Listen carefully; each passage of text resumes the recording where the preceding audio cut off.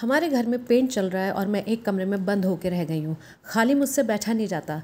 तो सोचा क्यों ना एक टॉप बनाया जाए। मेरे पास ये डेढ़ मीटर फैब्रिक है, पहले से रखा है, कॉटन कैमरिक फैब्रिक है। मैं इसका टॉप बनाऊँगी। सबसे पहले मैंने न्यूज़पेपर पे पैटर्न ड्राफ्टिंग करी, उसके बाद मैंने इसको फैब्रिक पे भी कट कर लिया। जैसे ही मैं अपनी सिलाई मशीन के पास पहुँची इसको बनाने के लिए, मुझे याद आया, यार, मेरे पास तो मैचिंग धागा है ही नहीं। फिर क्या? मैं फटाफट से रेडी हो गई मार्केट जाने के लिए। ये कोटी और कुर्ती मैंने खुद ही स्टिच की थी अपने लिए लास्ट ईयर जिसे मैंने ब्लू जीन्स एंड ब्राउन जूती के साथ आज पेयर किया है। इस कोटी का स्विंग ट्यूटोरियल मेरे यूट्यूब चैनल पे अपलोडेड है। अगर आप बनाना सीखना चाहते हो तो वहाँ पे जाके सीख लो। चलो, अब चलते हैं market matching reel paper fusing और कुछ छुटपुट सामान लेके मैं घर वापस आ गई और घर आके कुछ ही घंटों में मैंने अपना टॉप सिल लिया। शर्ट कलर और राउंड एज मुझे बहुत पसंद है। बनने के बाद ये टॉप कुछ ऐसा दिख रहा है। मुझे तो ये बहुत अच्छा लग रहा है। डू टेल मी आपको कैसा लगा?